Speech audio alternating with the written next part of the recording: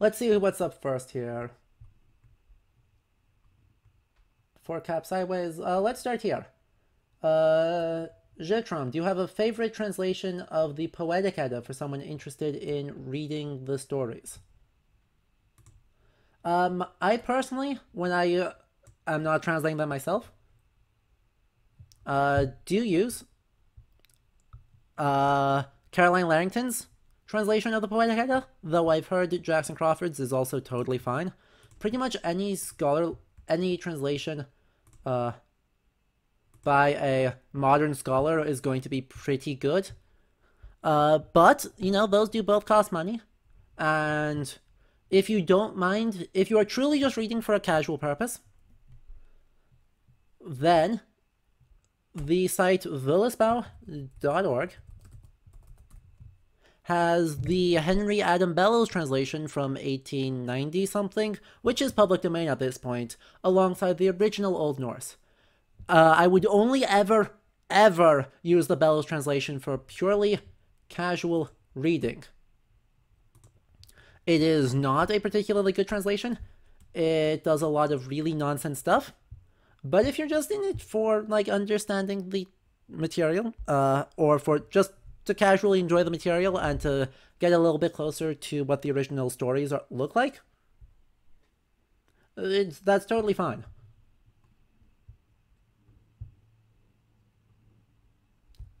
Uh, next question from Watcher. Did Skald have a magic or oracular function, or was I just lied to at an academic conference an hour and a half ago? Oh boy, this is a big thing. The answer is unclear. So, by the time we have really reliable accounts of what Skalds are doing, they are truly just court poets well and truly and purely and nothing else. That being said, uh, in the Viking Age, and with the internal evidence of some of the Eddic and Skaldic poems, it does suggest that these were intended to be performed in a pseudo-dramatic sense. Uh, Terry Gunnell is the big scholar on this. His first publication, The Origins of Drama in Scandinavia, goes into this in quite a lot of depth. So, something like Skirnismal uh, might actually be intended to actually be told by a skald as part of a ritual as people go from place to place to place and the different scenes of the poem. And that sort of as part of potentially a springtime or a seasonal ritual? Not super clear. Uh, similarly, or kind of similarly, uh, Hákonarmál uh, has been interpreted very recently uh, by uh, Simon, Simon Nygård uh, as his PhD thesis as something that should be was read by a male and a female uh, poet that is potentially part of some sort of ritual or performative uh, movement of the spirit to Valhalla. So there is definitely room for active religious uh, material. So it's super cool. Uh, and so I think we can say sometimes they had like a ritualized function. I don't want to say like magical or oracular, right? I don't want to say this. The reason I don't want to say this is that this uh, there is a social person who does this. That is the spákona, or the völva, uh, plural völur. Uh, the way you spell that is V uh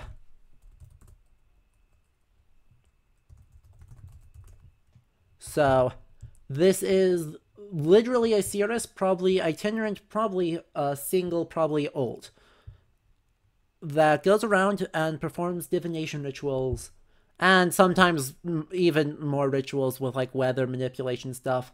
Uh, so Eirik Saga Rauða tells of this big ritual and a famine in Greenland where a, a comes. Uh, literally, I think she's called, uh, was it Litilva? Uh, anyway, her name I think is Thorbjörg, I think. Uh, Anyway, she there's a famine and a plague going on in Greenland. It's terrible. And so she shows up at the farm at Brattahlid, Eric the Red's farm, and does this like two day divination ritual where first she examines the farm and its properties, and then the next day they sacrifice uh, one of all the animals in the farm and feed her the hearts while everyone else eats everything else, while a woman sings a chant or a galdur.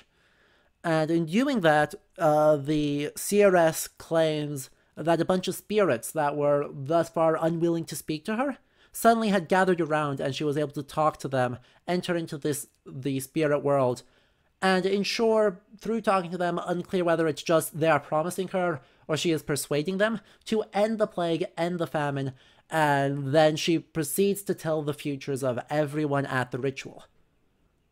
A Skald does not do that. That is 100% the job of a Seeress. And so as far as that goes, those are not the same thing.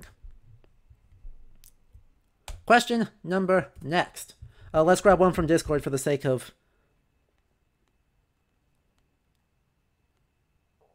balancing. Um, do, do, do, do. Uh, so was Lo one about Loki, you know, uh, from Lewis. Was Loki on the same recognition as Odin as far as Norse gods go, since he was seen as Odin's brother in some translations? Okay, so I should be clear, we don't know. He's incredibly important in the material that we have. He's incredibly important in the Prose Edda. He's incredibly important in Völuspá. Uh, Völuspá and Skamma is where the idea of Loki eating a half-burned heart comes from. Uh, he shows up in Haustlöng, but as a as a, actually a fairly major player in that. Uh, he shows up a lot in the Prose Edda in a lot of context, and obviously, uh, in the the Lokasenna, he is the main character and confesses to being the reason why Balder is dead. But I don't think we can push Loki any farther back than the 10th century. I don't think he exists in any significant form as a prominent deity before then. We just don't have any evidence for it. My speculation, uh, I think the most probable thing we can say is that in the early 10th century, uh, whether due to dynastic shifts or due to something else, in an elite Norwegian context, Loki starts to become really prominent. This belief spreads into the Orkney Islands, which had close ties to uh, Norway and the Norwegian court, and from there it also spreads into uh, northern England and Northumbria, which is where we get the Gosforth cross, which shows Loki being bound. But I don't know whether he's worshipped outside of, whether there's belief in him outside of Norway, and I don't think there's belief in him outside before the 10th century. Uh, the Snaptun stone was found in Aarhus, Denmark. It's the hearthstone that probably has Loki uh, depicted on it. It dates to about 1000. It was made in Norway, so same problem. Uh, and the Vian amulet might also have been made in Norway, even though it's found in Denmark. So as far as that goes, we we can't say. There are no place names.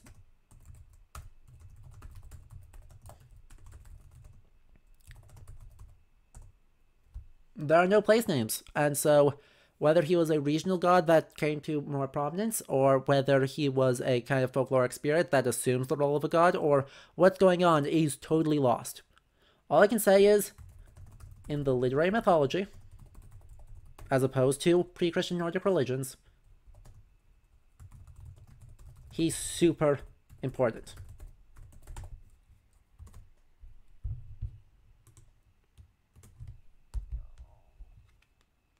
So, uh, next question. Let's find another one.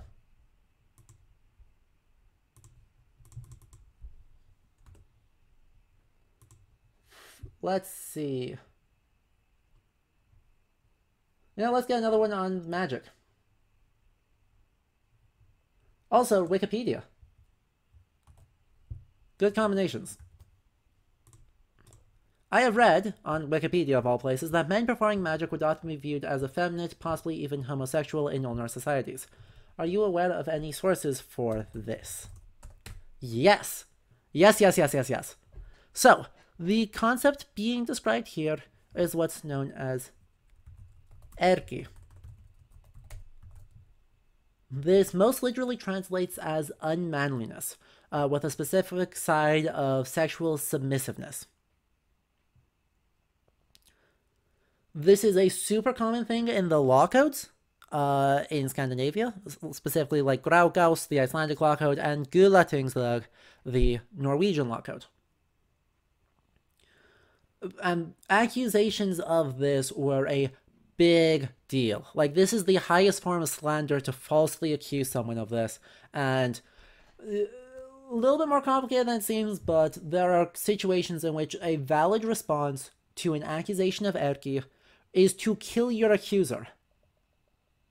That counts as proving your innocence.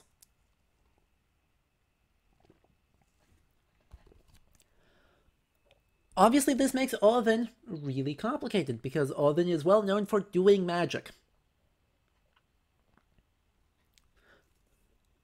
Uh, he kind of breaks the rules. And as far as gender models go, there uh, might it might be valid to think of three genders male, female, and magic user. This doesn't totally work, but I am personally a fan of this model. Uh, I think it's certainly a better model than some of the other ones that I proposed. But uh, yeah, male, female, magic user. Uh, so, lots going on there to deal with. Um, but male sorcerers do are, do exist in the sagas. The saga corpus across all genres, uh, almost all genres, really have like magic users and you need a sorcerer on hand, it's bad for you to resort to using them, but you need one on hand just in case. And so magic users are more often coded female, and in fact, the term troll, which is often used for magic users, is where we get the English word troll, uh, is female coded in the oldest material. So, yeah, we've got we've got a lot of them, but an example of that is in uh, Saga Ásmundarson.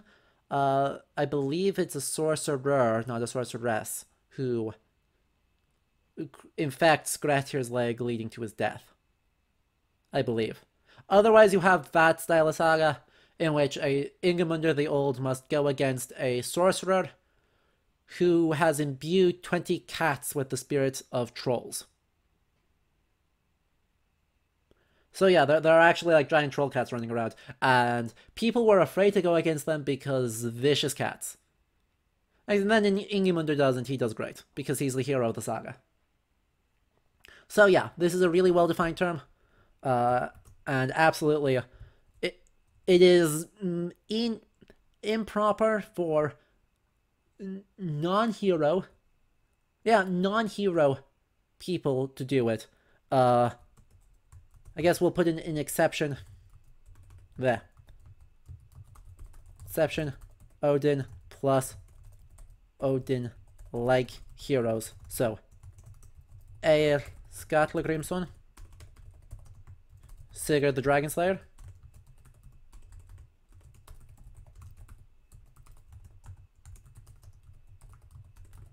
Uh, I believe the actual attribution uh, exists I think Gulatingslag attributes it to Haraldur Finehair, Harfagri, that uh, male sorcerers would be ostracized.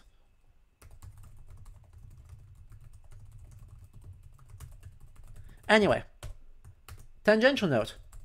Wikipedia?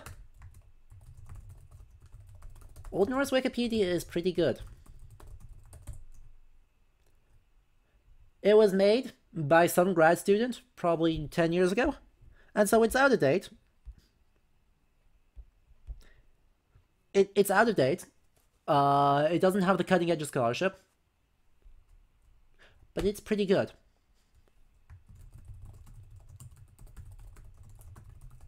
It's a really good catalog of where things are mentioned in texts.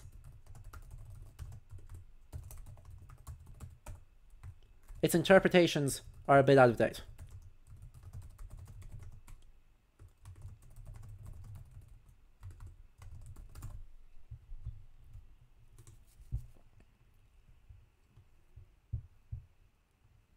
Uh, KJ, uh, you seem to remember Loki and, Loki and Odin accusing each other of this at some point. This is in Lokasenna. Yes.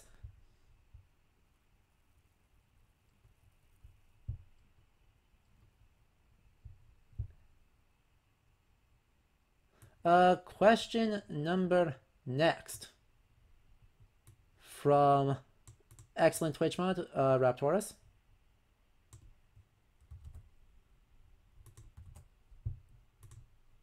I've seen people constantly point to the Northern Lights as being a source for Norse mythological ideas. How much does this idea hold up from an academic standpoint? Not at all. The Aurora is never mentioned in the medieval material.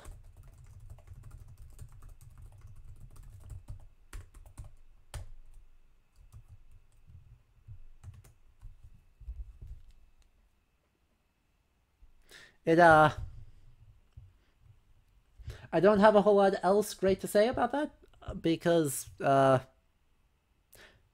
Yeah, there is...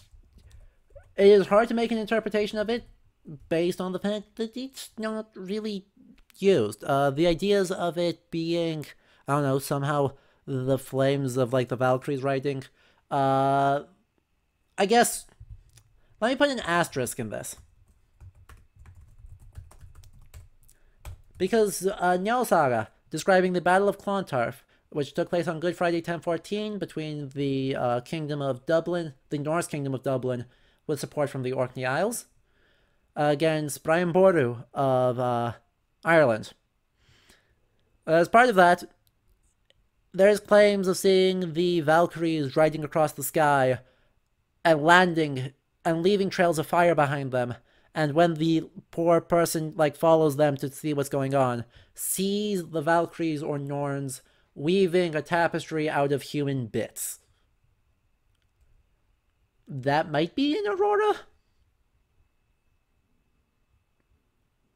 But it's not actually identified as the Aurora. So, yeah. Additionally, from 1250, we have a text called Konungs skuggsjá, or the Mirror of King, uh, or of a King, which says that the uh, that they're a Greenlandic thing. Um, that I don't know how that works, given that Iceland totally has them, as does Norway, but claims that they're a Greenlandic thing, and that it's probably actually fires coming, like cold fire coming off the glaciers, is the interpretation that they go for.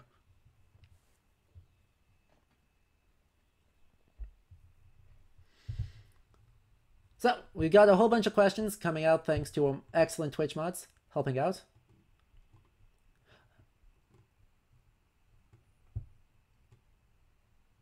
Uh,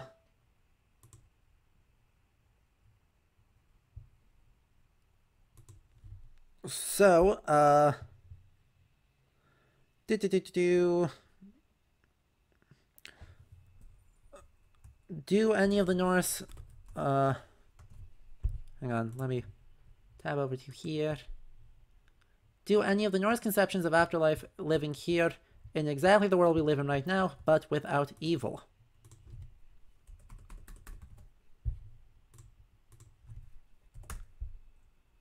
Not really. Uh, Völuspá probably is perhaps the best one of this, of the post-Ragnarok, uh, of a semi-paradisical thing where uh, Balder and Höður leave Hell, and Vidar and Váli and Magni and Modi all meet at Iðavellir, where the gods first met each other at the creation of the world, and they find the golden tafl pieces, or it's often translated as chess, even though they're not the same game, but the golden game pieces uh, of the gods.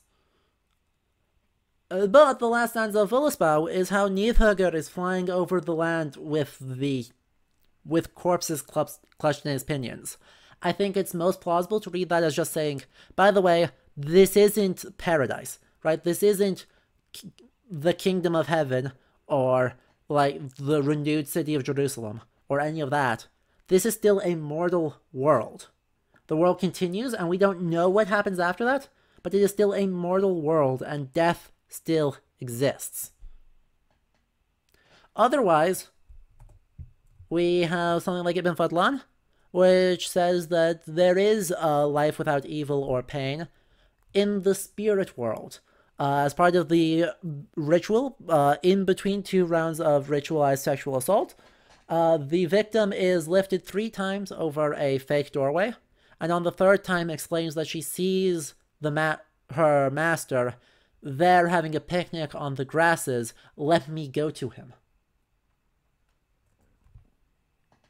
So, yeah.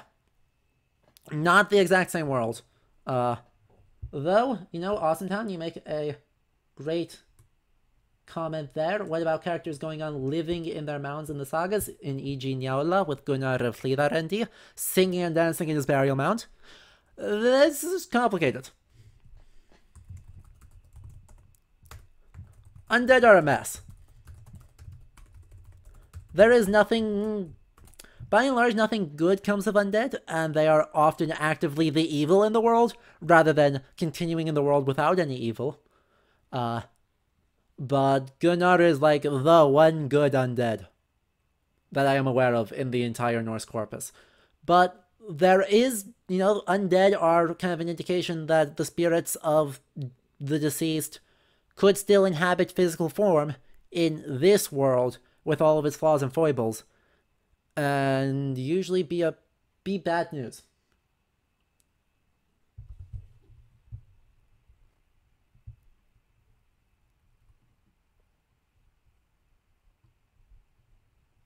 Uh, yes, let's get to that question, since I have seen you posted it several times, Rage Master. Let's get to it.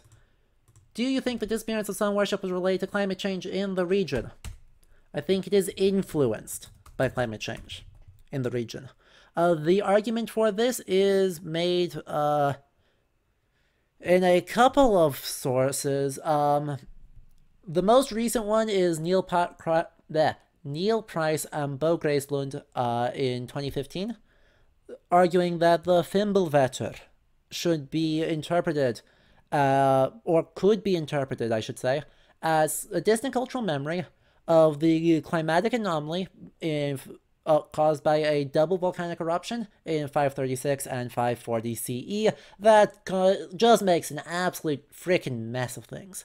It has massive consequences in Scandinavia, and the material culture changes really dramatically. Uh, Anders Andrén also talks about it in 20, his 2014 book, and I think it is reasonable to assume that there is some influence going on there. That uh, literally weakened solar radiation on a climatic level causes cultural effect or some perceived loss of faith in the power of solar worship, that could result in some pretty big changes. However, I think attributing it solely to climate change would be simplistic.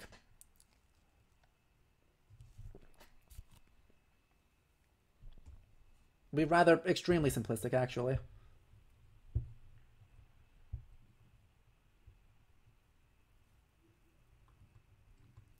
Uh, there are a lot of factors that go into changing cultural history, and unfortunately, our source material is too thin to say much more than there was a change.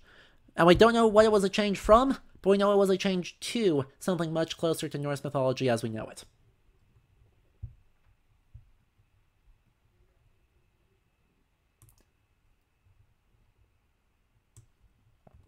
Uh, why are there so few studies of Loki from Kappa Crab?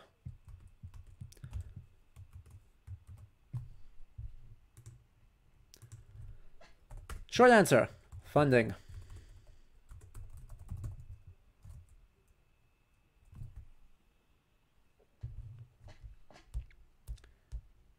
It's, uh... Funding is a problem. Because ultimately, none of us can afford to do research if we aren't being paid for it.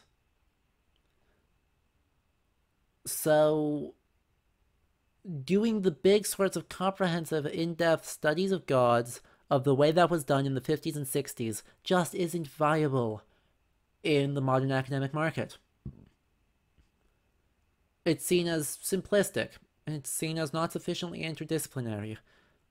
It's seen as repeating old scholarship. And so there just aren't a lot of dedicated studies uh, of Loki. There are some I haven't read because I don't know German well enough to be able to read the untranslated ones.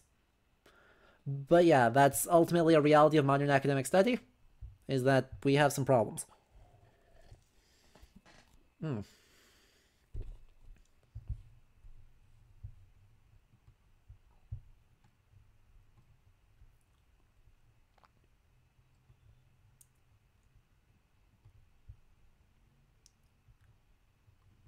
So, we have a so many questions. Uh, let's see if I can grab another one from the Discord because it's been a moment since I did one from there. Uh, do, do, do, do, do, do, do.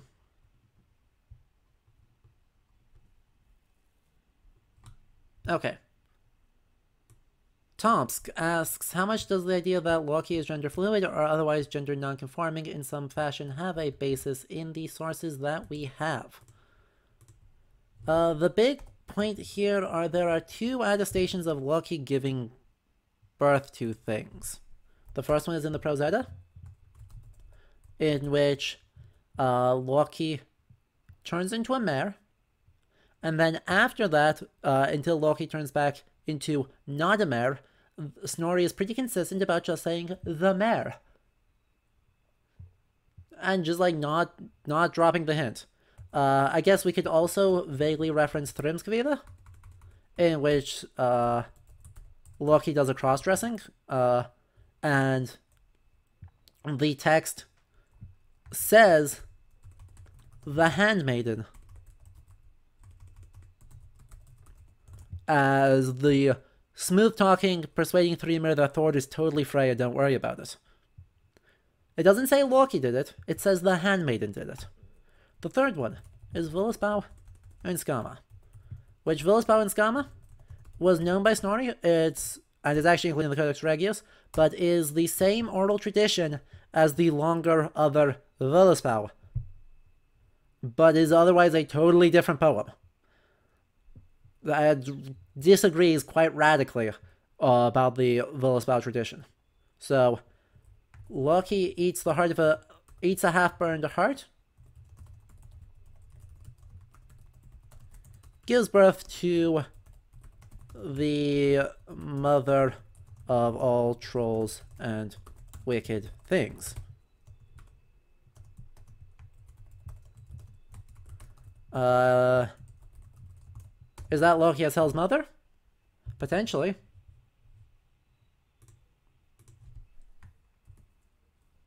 But that is unfortunately interpretation and interpolation rather than necessarily active knowledge. So basically, uh, there is some grounding for it uh, to think about it. It's not something I think would be actively part of Viking Age religious belief, though I don't want to push that too strongly. The people doing working with uh, critical queer theories have done some amazing work, uh, and this will be a question like uh, that may be talked about actually.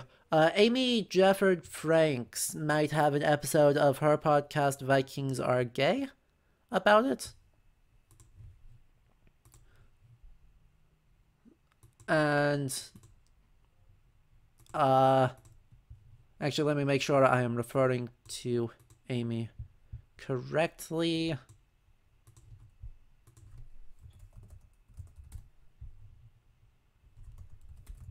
Do, do, do. Sorry, give me just a moment here.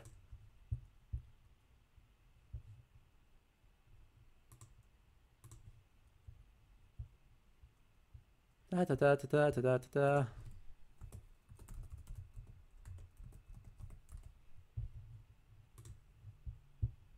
Oh, sorry, they. Yep, that's what I was. That's what I thought. Uh, so their podcast, Vikings Are Gay. Uh, sorry, is fabulous, and you should all go support them. So, uh, I believe they have an episode on Loki and gender fluidity, and I would absolutely trust their interpretation. Uh, they went through the same master's program I did. and are absolutely wonderful, ab- an absolutely wonderful person and a brilliant scholar to boot. So I would field that question over to them.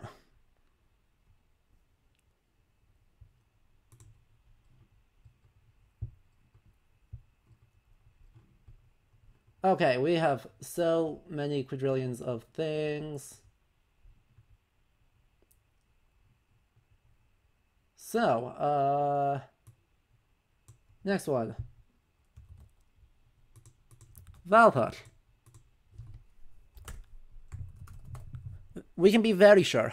Uh, our best our best source that lets us be sure is uh, come on. Let me italicize. Whatever. Hákonarmál. I've mentioned this one before. Haakon the Good was a Christian king who was buried as a pagan, according to his saga. And his personal friend Eyvindur composes this poem, uh, welcoming him into uh, Valhalla. It's a like discussion between him and a Valkyrie about entering Valhalla and what Odin's reaction will be. So, this lets us really confidently say Valhalla is a believed in afterlife in the mid 10th century, in a Norwegian, in an elite context. I think we have reason to think it's significantly older than that. Both linguistically, the fact that it's just Hall of the Slain, uh, and I believe there are some pictorial representations that might be it from like the 8th century. So, right, we have reason to think that this is actually genuinely really old. Folkvanger is a little less certain, but uh, also, Grimnismal, uh, I should say. Grimnismal is one of the oldest.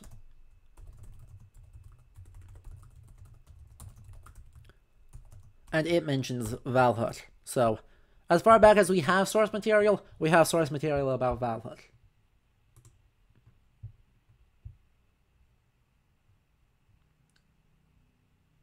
on the same vein, uh, the idea that warriors die uh, are taken to Valhalla by the Valkyriur to be in, to be there, fight and drink until Ragnarok, not until the end of time, until Ragnarok.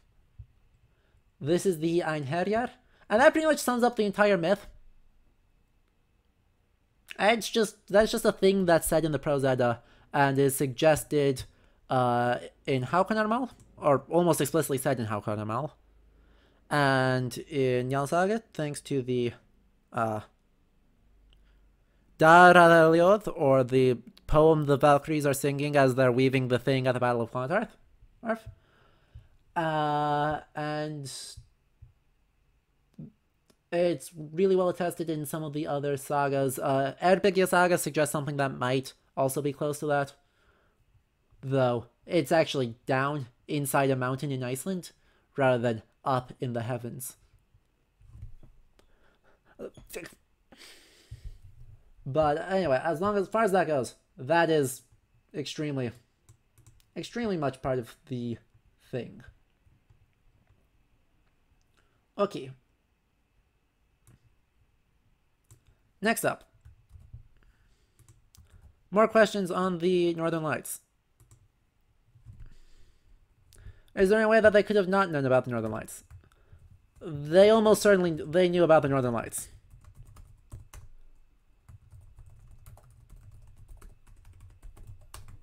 Why they are not a prominent part of the mythology is actually unknown.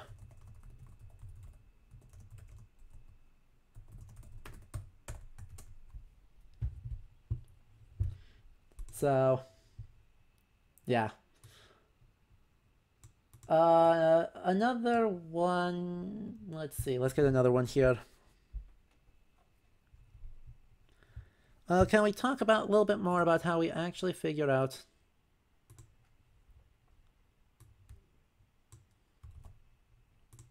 Okay. We mentioned scholarship evaluating how reliable certain sources are. Can we talk a little bit more about how we actually figure them out? I.e., when we figure out what's uh, what's good, what's unreliable, what's otherwise dubious. So this is luckily very, very recent work that's been doing it. This is an ongoing thing, uh, thanks to a huge research and reception project led by Margaret Clunies Ross at the University of Sydney that has been doing a lot of this work. And so basically, I'll use Adam of Bremen as the case study here. Basically, what happened here, actually, give me just a moment. I want to make sure I do this one justice.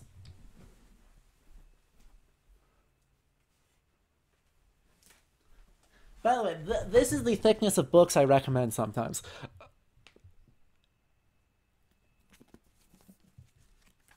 So, do do do do do do do do. That's the Deacon, Gentis. Paul's words.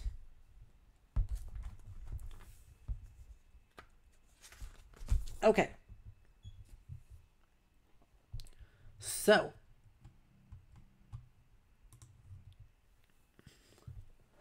Uh, this book is $140. It is not bad for an academic book, but it still is a lot of money. um, anyway. So. Let's find it. Uh, so, in order to identify Adam Bremen's uh, Friho, essentially, uh, what uh, Henrik Janson did is look at Frankish things, which we have a lot of from the reign of Charlemagne onward. So, in the Capitularium of 1802, for example, Charlemagne demanded severe punishments from the bishops for those who committed incestuous fornication. The perpetrator did not comply with bishop's sentence, he should be brought before the emperor himself, who would remember the case of incestuous fornication that a certain Fricco committed against a nun of God uh, quoting the Latin Memores exemplo, quod de incestis factum est, quod fricco perpetra perpetravit in sanctimonia sanctimoniali Dei. Capitularia Regum Francorum, 195, number 33.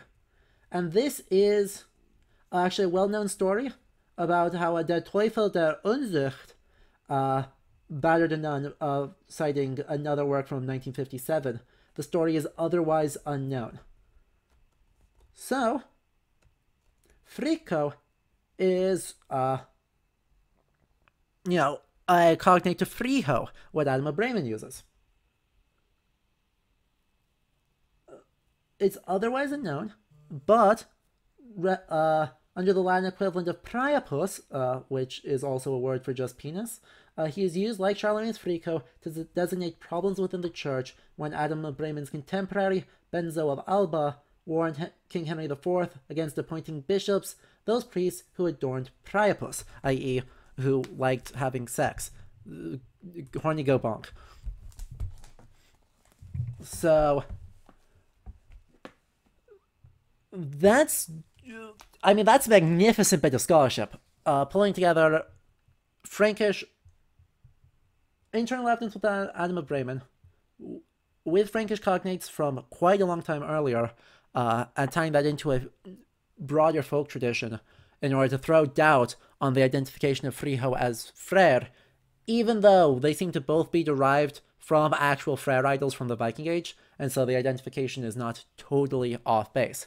For Tacitus, Tacitus is really easy to prove as totally unreliable, because one, he never went, and two, he is incredibly polemical about how much contemporary Rome sucks.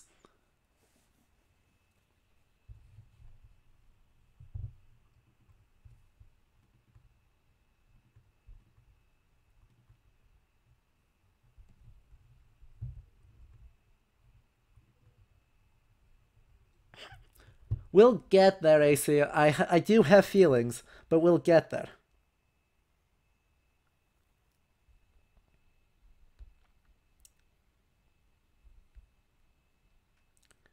Okay. Uh, next up. Da, da, da,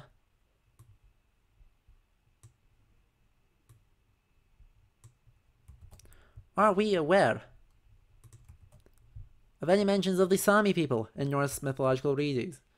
Uh, I've read theories on Skadi perhaps being vaguely inspired by the Samis, but I believe this was portrayed as a stretch. So, the Sami people get absolutely shafted. Uh, research is ongoing into the ways that Sami belief actually influenced Norse ones. For a long time in scholarship, the completely insane but accepted stance was that Sami peoples had basically no influence on Norse mythology.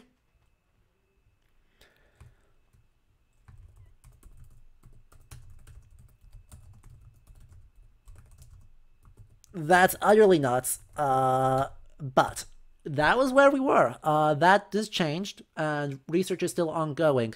Uh, it is widely accepted by the leading scholars of the field, including John Lindow and Jens Peter Schjødt and Christopher uh, Richard Cole, that we cannot fully understand the Prose Edda without looking to Sami beliefs. And so stuff hasn't quite been published yet, but I know there are some projects in the works on Sami uh, influences in Norse material. But in the saga corpus, the Sami people do show up. Uh, in Vatnsdæla saga, there is uh, a ritual where the leader like doesn't actually want to go to Iceland, but he has been told that there's a prophecy that he's going to go to Iceland, and so he summons some Laplanders from across the mountains uh, to do a ritual to attempt to identify what's going on. Uh, and they sit in the sauna for three days and don't eat or drink. And then afterwards, they say, "Oh yeah, so we found your thing in Iceland in like this spot. Go there until you find it, and when you find your amulet there, that's where you, that's where you should set up your farm." Okay, sure, let's go for it. Uh, but oftentimes they are portrayed as magic users and quasi monsters. Uh, in Harald Saga Harfari, uh, Snorri, once again, thanks Snorri, probably, uh, mentions that for a while, uh, Haraldur had a wife called uh, Snæfríður, who was a Sami princess. And when uh, she died, he was heartbroken and longed over the corpse and refused to eat or drink. Snorri, however, appeared to have a bit of a chip on his shoulder and portrayed this all as incredibly demonic bad stuff, because when the corpse was cut open, vipers and toads and wicked things crawled out of it. So it is this like demonic magical deception that is inherent to the Sami people. And that shows up a whole bunch. Because yay. You just love to see the yikes takes coming out of the sagas. Mm. Uh, another one is in like Ketil Saga Hængs, where uh, the hero Ketil goes from his home on Hrafnista in Norway to the coast of maybe as far as the White Sea. It's not super clear. Uh, but meets a girl there and uh she's finished but some Lapps are coming in and so they have to actually hide under a blanket uh while the trading is going on but as a result of that as just proximity to the Lapps the son they have, uh, Grimur Loðinkinna, has a scraggly beard on one side of his face that can't be shaved, that will literally turn away a razor if you try and cut it. From the moment he's born.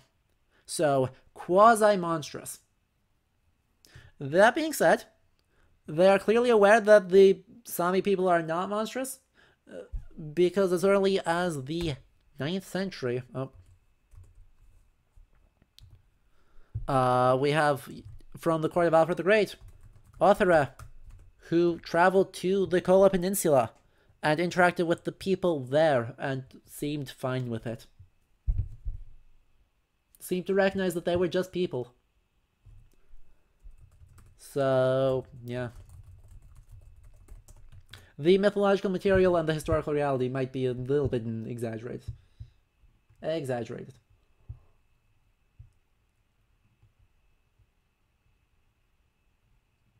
Da da da da da da da da da da da. What else have we got?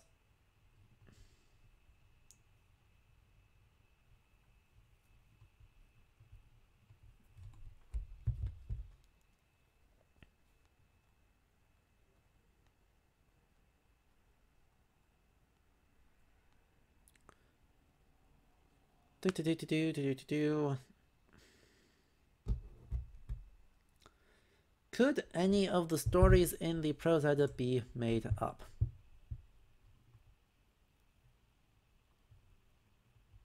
Yeah. Yeah, they could be.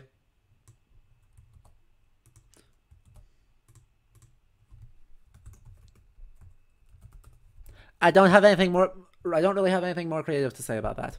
Uh, right, there are some stories that are attested nowhere else that we have no visual evidence for. That we have no uh, external evidence from the Edda for. So there's absolutely a chance that they are, to some extent, made up. We certainly hope that's not the case. I don't I don't see any reason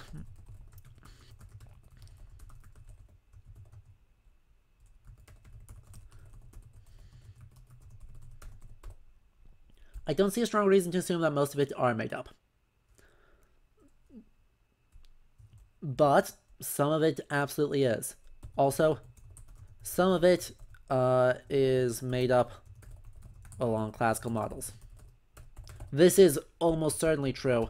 Uh, Richard Cole has an article on uh, Jewish stereotypes in the Eldthursar and their description in the Prose Edda at Ragnarok. So, you know, made up in the lines of adopting anti Semitism. You hate to see it.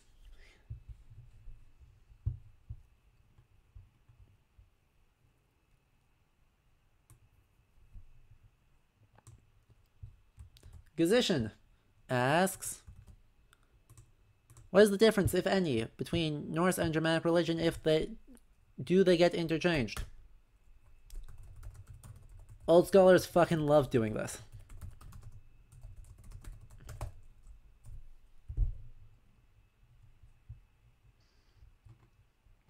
They absolutely freaking adored it. Jakob Grimm is one of the big, big popularizers and defenders here. As in, by the way, this is Jakob Grimm, as in the brother of Wilhelm Grimm, as in uh, the fairy tale people.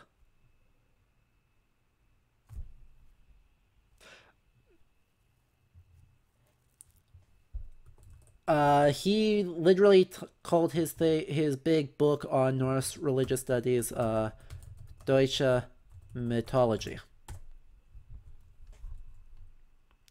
That being said, they aren't this. They're clearly connected. We have some Germ, Old High German charms, uh, the Merseburg charms, which are actually in the Christian manuscript, but are genuinely pre-Christian. Uh, that describes some sort of healing thing, in which it appears that the sun is way more like a solar figure is way more important, and some of the gods are the same, but also not quite all of them.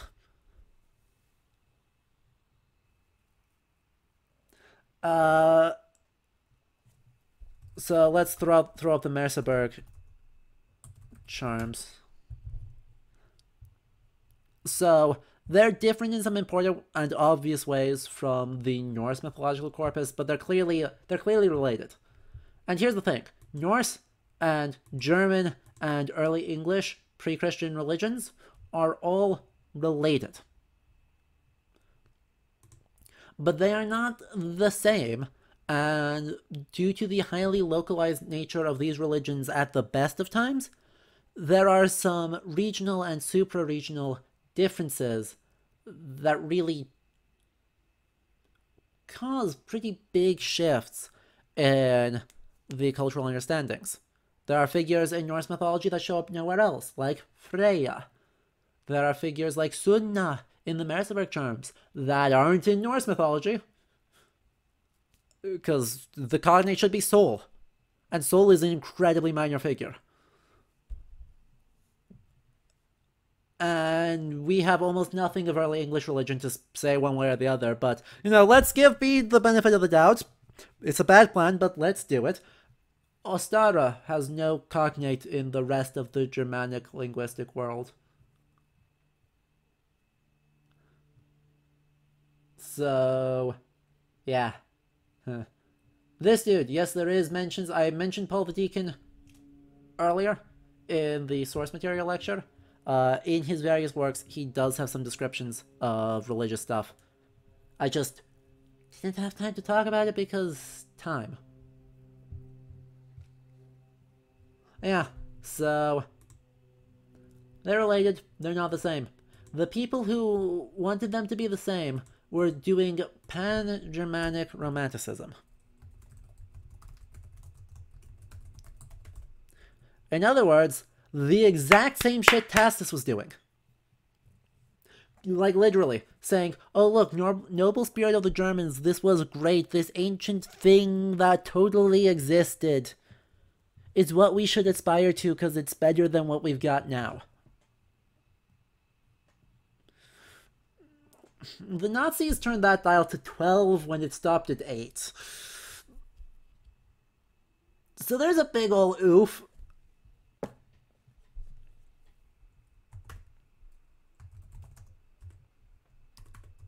Right, it starts as an oof. And it goes all the way to Nazi levels of oof.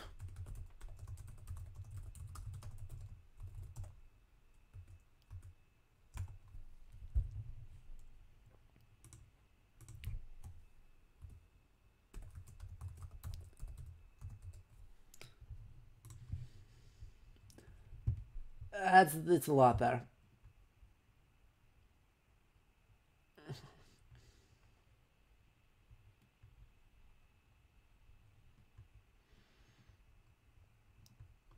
Okay, what's up next?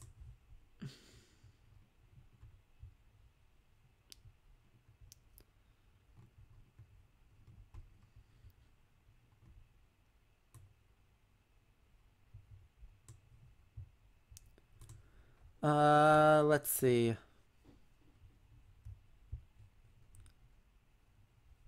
So how common is euhemerization?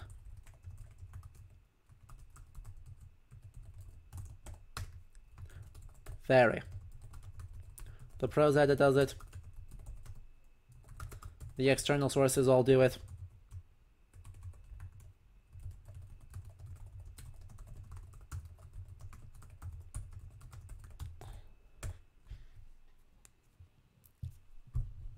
Uh, the sagas don't do it as much, but so euhemerization and or Actually, hang on. Sorry. Let me do let me revise that. So, I want to talk about actually two different types of uh I was conflating two things that I should have confl conflated. Euhemerization, i.e. the belief that the gods are actually human and it is actual historical events that have been wildly distorted. And Interpretatio Romana, or the idea that the Norse gods are actually Greek gods. So, the as far as euhemerization, uh, Saxo does do it. Saxo does it all the time, really hard. Saxo does it. Snorri does it in Ynglinga Saga. And the Prose Edda. Uh, do do do do Sörla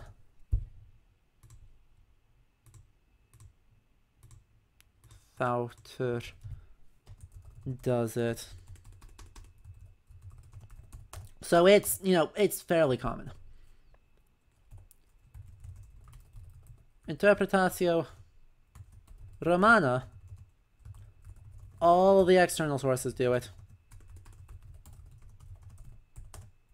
Uh, Saxo doesn't. Saxo thinks everyone's dumb for doing it. Uh, and Óðinn, actually let me spell Óðinn correctly.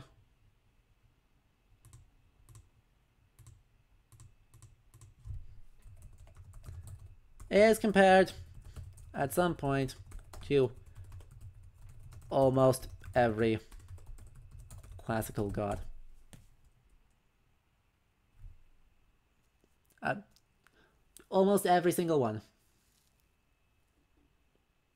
The identification of Odin with Mercury is the most common one. But at some point, someone equated Odin with some with every available option. So that's that's a thing.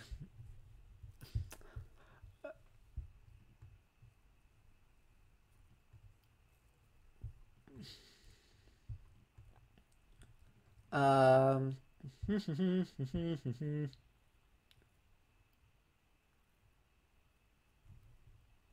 So, next up. Uh, do we know?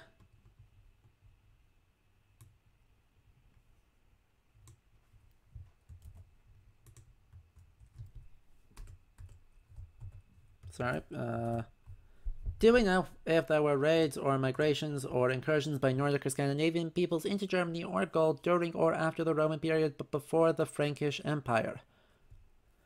Uh, yeah. Mm. It's been argued that uh, Roman trained uh, artisans helped make uh, the type A Gotland runestones. Uh, that's Anders Andren again. Leading that argument. Uh, there's also trade routes existed since the Nordic Bronze Age at least. Uh, and genetic, uh, recent genetic study of Viking Age graves.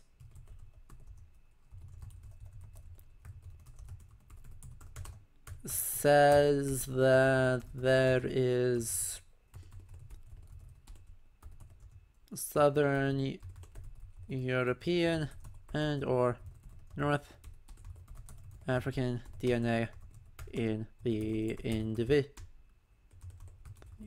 Norse genome.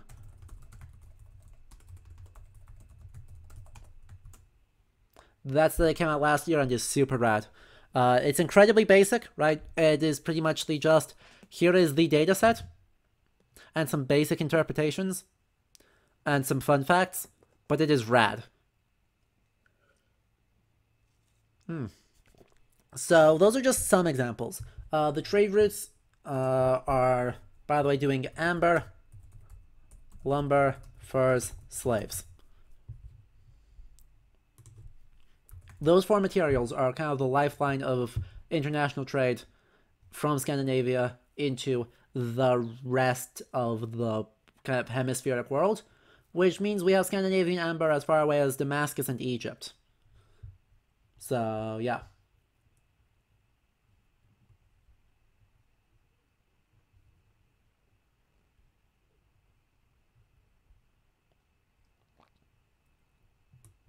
Uh, next question. Nope, that uh, preserved the same. That did not copyright. Is there any location in Norse cosmology such as Utgarder that could correspond for or to North America? TBH is for a book and we need only the slimmest excuse. Uh, sort of. Let me scroll, go back up to this uh, image. So obviously, you know, we have like Midgarder being, depending on how you want to read that, Europe or Eurasia, depending on how far you want to zoom out and how big you want to think their worldview was. Muspelheim is south, Niflheim is north. Then there's the ring of the oceans. By the way, Iceland tries really, really, really hard to make sure that it is part of Midgard and Greenland tries really, really hard to make sure it's part of Christian Europe. Iceland also tries really hard to make sure it's it's way more Christian than Greenland is, we promise. And Greenland goes, no, no, no, no, no, wait, wait, wait, wait, wait, we got, we got Vinland over there. You can't call us not Christian. Look at Vinland. Uh, but anyway, you could make an argument. I do not agree with this argument. I do not think it is a good argument, but you wanted a slim excuse, so I'll make the argument anyway. That you can think of the ocean, and then uh, almost on the outside edge of that ocean surrounding the world, you have more land where Jotun, where the Jötnar live. And so the Prose Edda says that Snorri walks, or that Thor walks across the ocean uh, to get to Utgarður. I think it's most likely that he's talking about, you know, the Baltic, if he's thinking of a real place. But yeah, no, let's let's go for the crazy argument. Walks across to the Americas. Now here's the problem with that. The people who discovered North America, um, called it Vinland, were Christian. Leifur Eriksson was converted to Christianity by Olavur Tryggvason five years before his voyage. Thorfinnur Karlsefni, who is the longest running settlement attempt, was Christian. Uh, Eric the Red's daughter, who led the probable, according to the sagas, led the last settlement attempt, dubious historicity there, uh, was a very bad Christian, was technically Christian.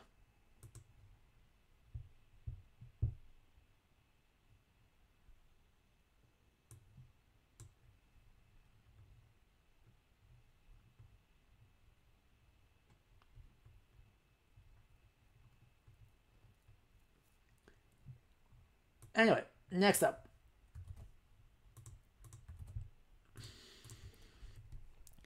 Uh, what do we know about Norse interactions with religions beyond just Christianity and any artifacts or writing that demonstrates this? The big influence here is Finnish.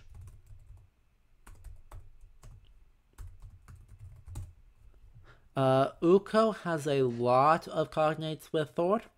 To be honest, so does, you know, uh, Perkunas. And you can make argument also thinking of like even as far as Perun. We also have uh, northern Polish material culture.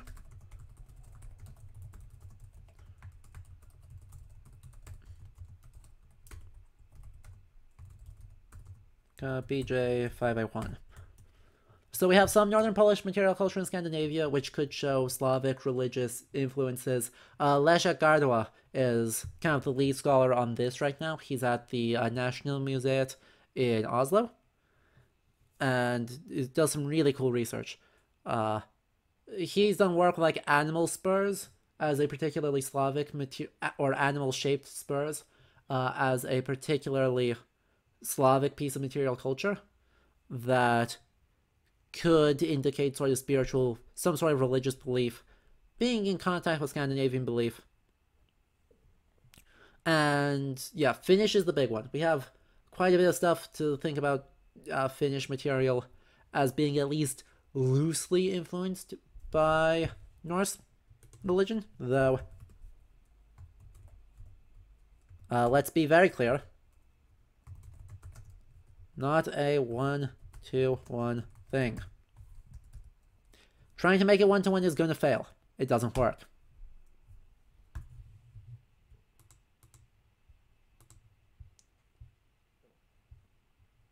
AC, I will get to you eventually. I have seen the question. We will get there.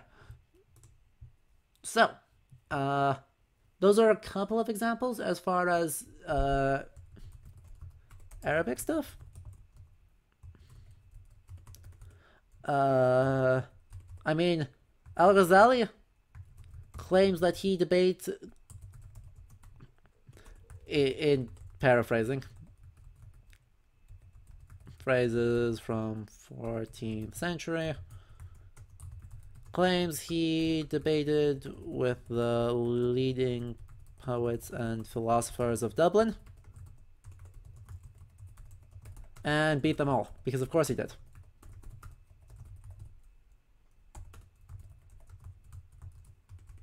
And Ibn Fadlan we know was not impressed uh, uh, by Norse hygiene. He actually probably over he probably overstates how filthy they were.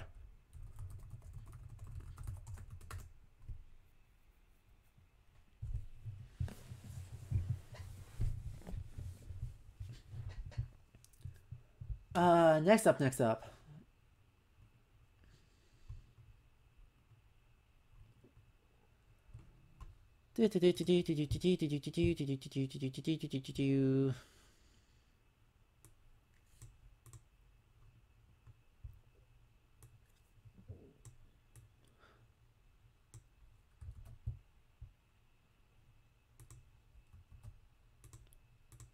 Did the role of the head god of the pantheon change or was stable?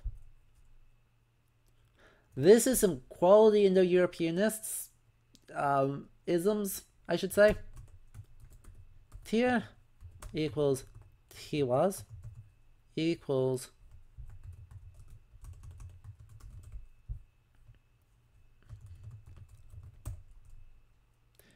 linguistically, Tyr and Zeus are the same word. They both go back to, uh, I believe it's Deus is the reconstruction, and then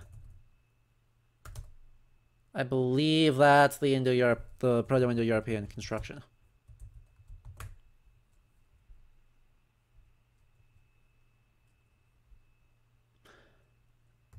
I don't super buy this. Right? Uh, because that this kind of makes a fundamental assumption. Um,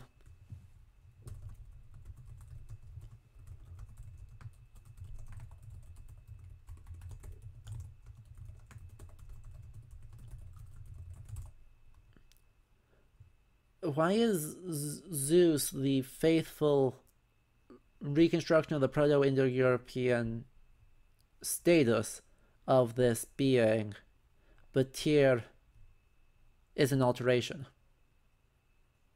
That's argued by assertion way more than it's argued by actual evidence. There is actual evidence for it, but a lot of the things are mm, questionable.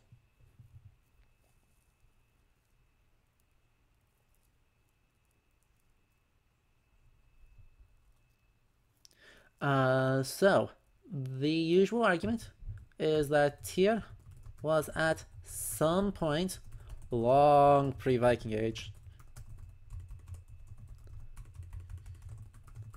The head deity. And by 1st century CE at the latest, it has changed. We don't know why, but oh, Odin comes on top. So yeah, like I don't buy this.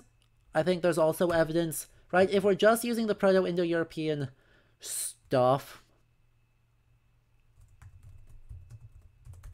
right? If we're just making a linguistic argument,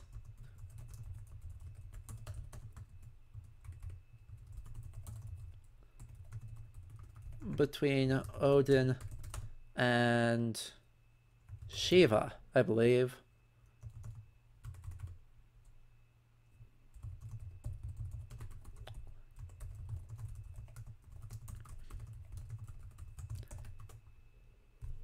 It's all linguistics. It's all a linguistic argument. As long, uh, last point here, as long as we have any source material to actually work on,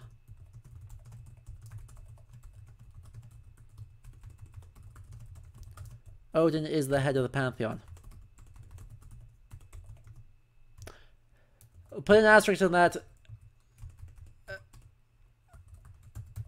except if Adam Bremen is accurate.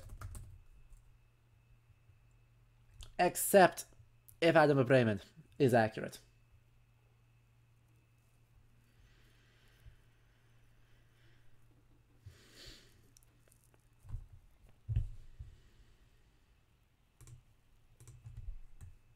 Because Adam Bremen says that Thor is the head of worship at Gamla Uppsala. If he was right about that, then Thor is a regional variant of the head god. Which is fair. Right, that's, that's, it's fine. Thor was an incredibly popular deity, you know? There's actually a question about Thor. Uh, so, Thor. Exactly. Uh, Austin Town 999, you are correct. Uh, Terry, uh, and John and Neil and Stefan. Yeah, basically everyone has argued against the existence of a meaningful pantheon, but if we think about the back projection of the literary mythology, uh, right? Because ultimately, what that question is about is about the literary mythology. It's not about the pre-Christian Nordic religions, uh, and it's about how far back can we project the literary mythology, which absolutely has a pantheon. And the answer is just not very far. And as long as as far back as we could plausibly have any grounding to project it to, there's no reason to think that way. But yeah, I would agree with you uh, that in pre-Christian Nordic religion, we should not be thinking of uh, pantheons. Let's actually talk about that. As I mentioned at the beginning of the lecture, pre-Christian Nordic religions are extremely localized. So we should what we should instead be thinking about is uh, local cult sites. A family group slash settlement has their god that they pray to. This might be Álfar. This might be Disir. These might be Thor slash Odin slash whoever.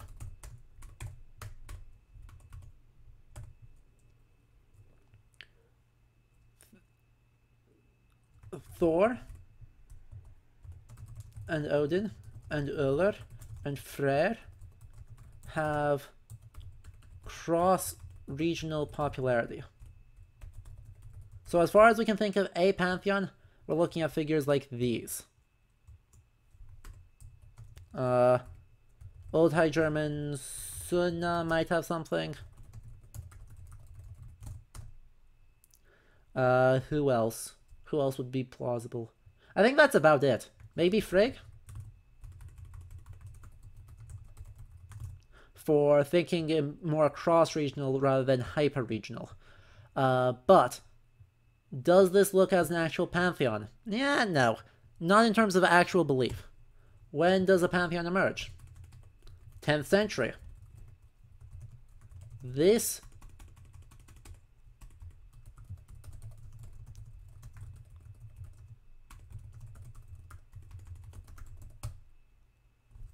I am really confident on saying this is 10th century, and this might be evidence uh, vacation by elites uh, due to a mix of political consolidation and alternative to Christianity's social benefit or social appeal.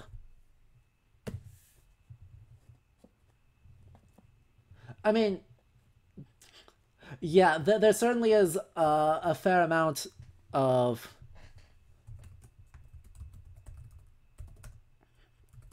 scholarly assumptions that a pantheon ought to have existed.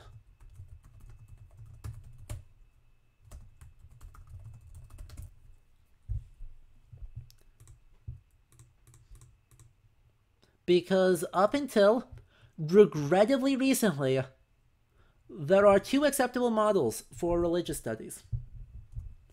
You can either assume that all religions work like Christianity, or that all religions work with this romantic idealized Greek religion.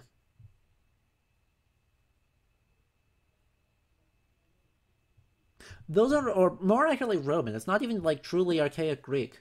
It's more accurately just like late period Roman. So yeah, you can either be a Roman model or you can be a Christian model, and no no religion could possibly work differently from either of those.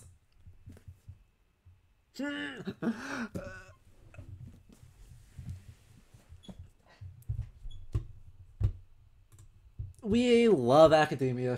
We really do.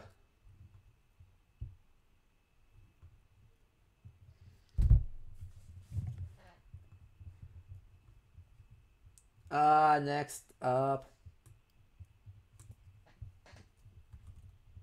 So.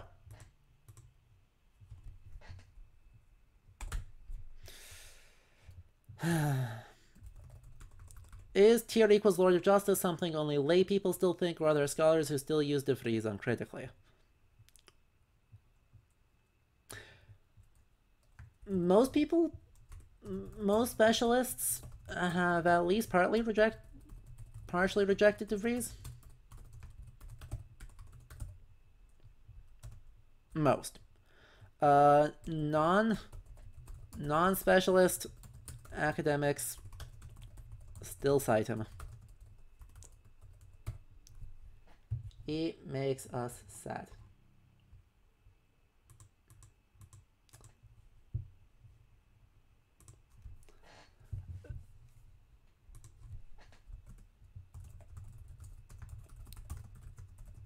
There's also a uh, generational thing. Uh, older scholars are usually more willing to cite him.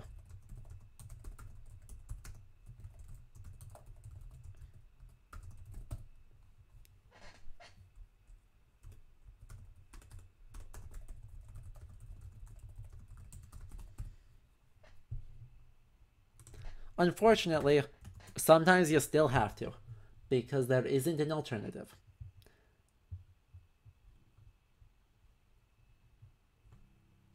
It's terrible. Absolute mess. So, what's up next? Ooh. Ooh, this is a juicy question. And, uh, by the way, I, I have noticed that there's another specialist in chat here. Someone found main, found me on main, and is helping out, which I appreciate, by the way. Uh, so I may need your help on this one too. How did the Norse look at the idea of a soul? Complicated. Absolutely ungodly complicated. Uh, so we can say pretty unequivocally that it existed. There is some conception of an incorporeal spirit.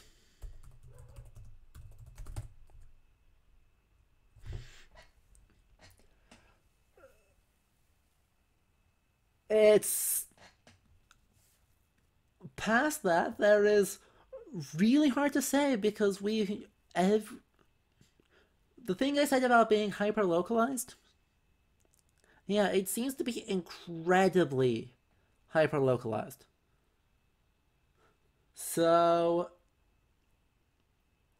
right, Ibn Fadlan says that cremation equals good because spirit goes directly to the gods instead of being trapped in earth.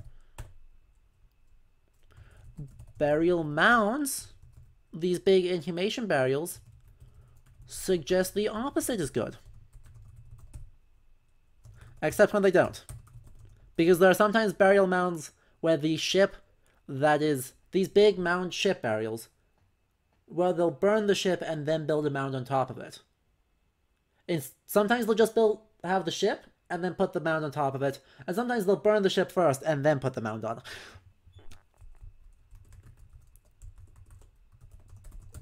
So that's great. Uh, so something like the Oseberg burial, I mean, suggests that there is an afterlife, and there is the transport of material possessions into the afterlife, probably, maybe uh, given that the two women buried there had just a ludicrous amount of material goods and incredibly high value material goods.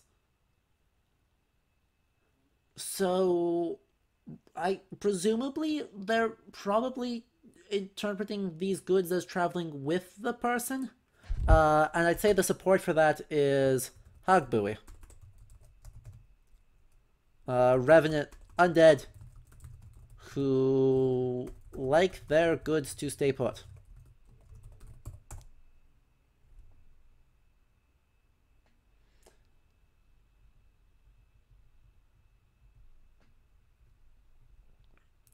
And then, yeah, we get into like uh, Eric Saga. And the idea of the Náttúrur there, and then the Disir her, uh, and there's another word I came across recently. Where was it? Da, da, da, da, da. Another word for spirit. Hmm, where?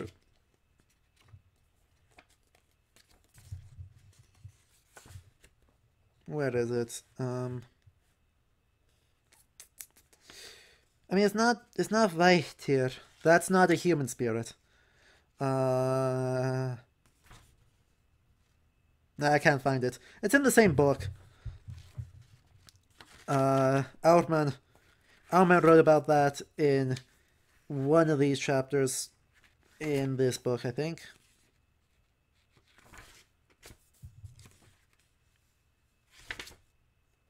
Whatever. It doesn't super matter. Uh,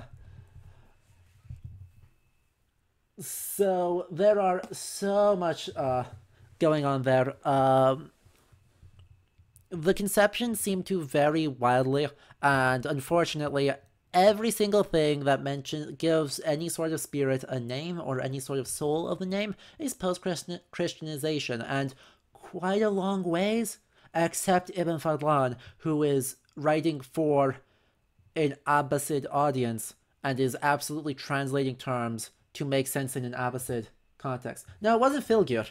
Uh, it started with an L.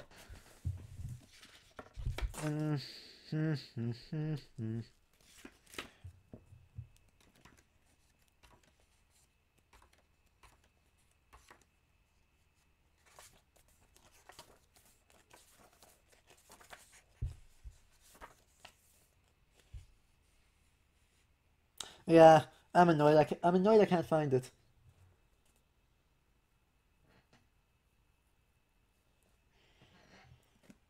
Oh well. Unimportant. uh, so, what is up next?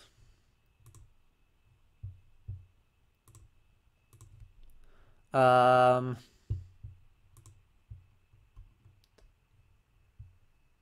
So, yeah, uh, let's go back here. Um, next question.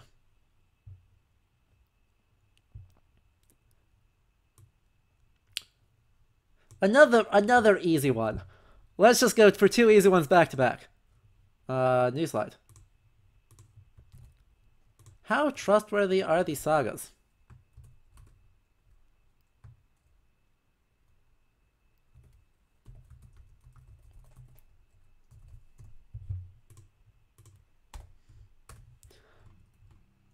My answer for this is uh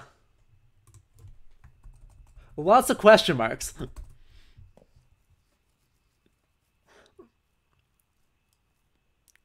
because some of the sagas include incredibly ancient material.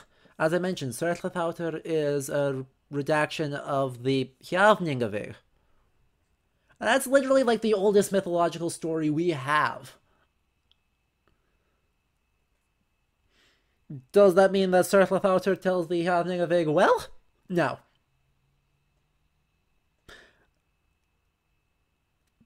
But it's clearly preserving oral traditions, and it's evidence that oral traditions can survive in a recognizable and relatively stable thing. For an incredibly long time. But each saga has its own individual agenda.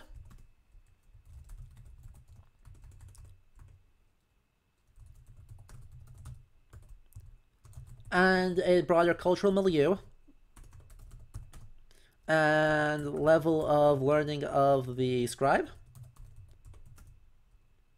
And all that changes over time in different copies which means it's incredibly hard to say with any sort of uh, broad, broad generalization as to how reliable sagas are, because it changes literally all the time. Anyway, since it sounds like some of the regulars have to go, the next most important question is, of course, from AC Esquire. There is a correct answer, and it is this one. Everyone else is wrong.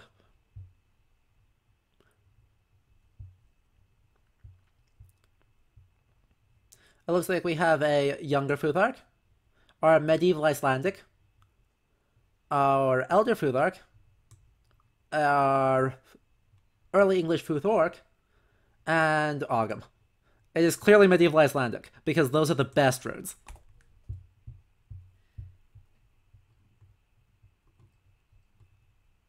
runes. Alright, good night, folks. Alright. Last up, uh, Okay, follow up to that, to the trustworthy of the sagas, what should we be looking for in them? Again, uh, right, mentions of either names of mythological people. So, right, in Sörla þáttr, uh, Hild is a Valkyrie, is a, Val is a name of a Valkyrie. if Odin appears, that's potentially something. Um, any landvættir, things like that, are reflexes. There's a fair amount of scholarship on how to do this. Uh, I actually just referenced one uh, with Ármann Jakobsson uh, recently writing an article on that. The idea is all the sources are spurious. Um, but to quote what let's just quote a paragraph here. Given the fact that the recorded sources all come from a fairly recently Christianized society, the Christian filter that the pre-Christian beliefs have passed through before they can be viewed by us must always be kept in mind in the quest for traces of the old faith. There is certainly a great interest, not always negative, in pre-Christian customs, but these are still by necessity always subject to the more hegemonic truths of the official religion. So, unfortunately, a lot of our things, a lot of our sagas are about the end of pre-Christian religion, either with, say, like Olaf Saga Tryggvasonar, as Olaf Tryggvason was really big on the whole Christian Christianity thing, or you have all of the Icelandic saga uh, dealing with like the last generations before Christian Christianity arrives. So, uh, unfortunately, like we have some good strategies. Like as I said, names are a good one, and wherever we have other material we can reference against, we can kind of start to parse that out, and then we can assume consistency within a text. Right? If one text is really big on supernatural stuff, and one of those supernatural things is genuinely old, we can start to tentatively start looking at well, are these other ones also genuinely old? Can we find other altered reflexes in other sagas? And slowly work our way backwards in, in a very complicated, loose sense. But it's difficult. It's extremely difficult. But what can we do? Is what we've actually got. And yes, uh, these slides will be a separate video uploaded to the YouTube. So the lecture will be one thing. Uh, the Q&A will be another thing and the whole can be viewed as a VOD here on Twitch. Okay? Awesome. So it seems like uh, people are starting to get tired, and to be honest, so am I. So we're gonna do one more. And then we're gonna, I think, call it a night.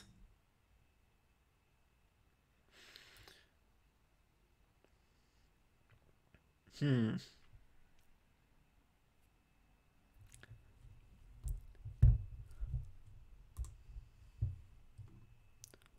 Let's go for one more one more super uh easy to answer one because I choose nothing if not difficult questions. Does gender play into which afterlife one gets into? I noticed that women, to my knowledge, aren't portrayed in places such as Valhalla. Really, the focus seems to be on men. Do you have an explanation for this? I'm guessing there's something I'm missing. There is not something you're missing.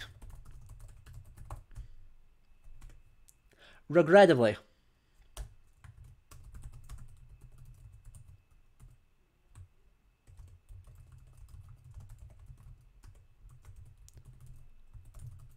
Female presences in the afterlives? Whether that we think that means either like Valhalla, Spirit World, Hell, whatever are terribly, horribly neglected in the source material.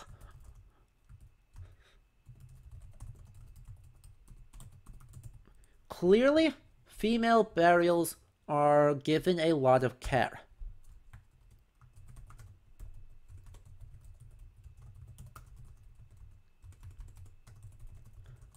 There are, there are some incredibly, incredibly uh, high status burials, such as the Oseberg burial.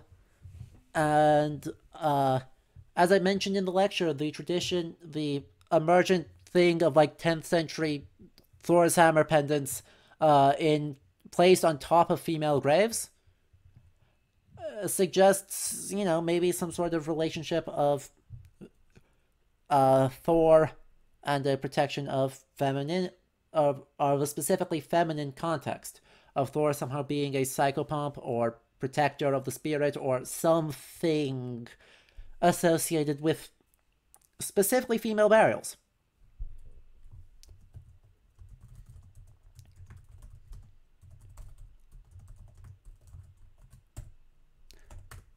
What that belief is doesn't survive. The literary mythology is incredibly male folks focused. How far back you want to project that into um, is a good question. I I go back and forth on this like every month as to whether I want to think that this is a very late development or whether this is actually really old development. Because let's be honest, uh, the Viking Age society was not exactly mm, gender equality wasn't a thing, regardless of what the internet would like you to think. It wasn't. At all. It was better than Roman culture. But that's setting the bar underground. Uh, so, right, another example of this incredible male focus in the Eddic material is that, you know, what happens to Freya at Ragnarok? We don't know. What happens to Frigg at Ragnarok? We don't know. Uh, the only time Frigg is mentioned in context with Ragnarok is that a uh, the devouring of Odin is called the greatest grief of Frigg. And that's the only time she gets mentioned. Because clearly that's the only time like she has emotions that matter. The Eddic material is really kind of shitty to its uh goddesses.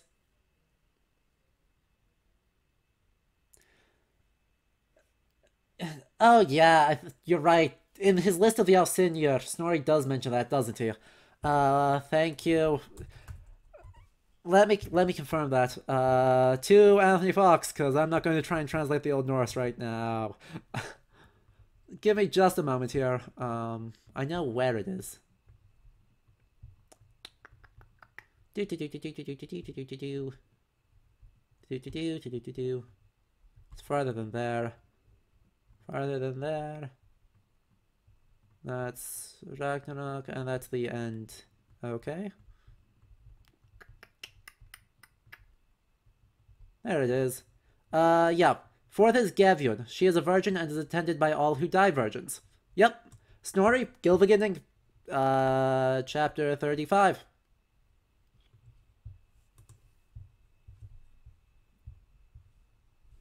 Hey, no, no, no, I am using the accepted, like, the most common academic translation of the Prose Edda. Also, yes, I am also a voice on the internet trying to uh, tell you all to don't trust certain sites on the internet. Smart. anyway, So, yeah, unfortunately. This is a really good question uh, that highlights the differences. Highlights... Uh, but, sorry, here's a question. Uh, like, Gefjon is mentioned like Haustlöng in accounting for Freya. And is Ge- is Gefjon mentioned like anywhere else outside of the uh, Prose Edda and like a couple of kennings? I don't actually know.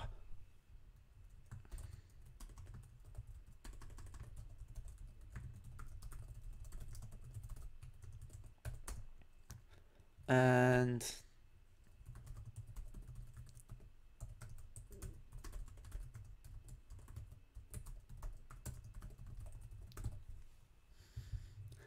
Anyway.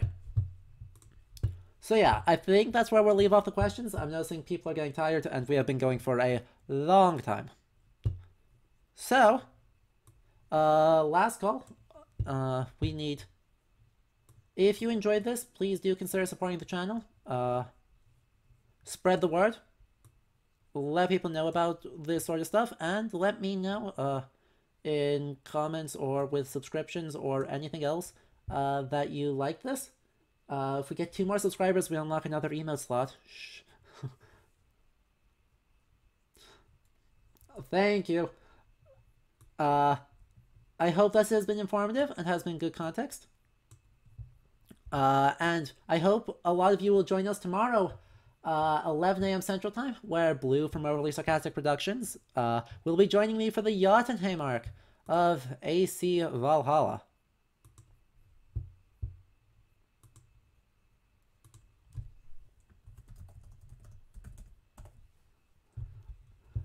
So yeah, uh, that'll be at uh, yeah, it's at 11 a.m. So 5 p.m. Uh, UK time for anyone in Europe, and that's going to be that's going to be wild, right? I talked a lot about how to better do Norse mythology, like you know how to read like a pro. Assassin's Creed, the development team clearly needed to talk to me first, because they took none of none of this advice. Literally none of it. It's gonna be a mess. Uh, so I hope you enjoy my suffering, uh, because that's what that's going to turn into very quickly. Uh, but yeah, I hope you all otherwise have a good rest of your evening, have a good weekend, and thank you all very much for coming. See ya!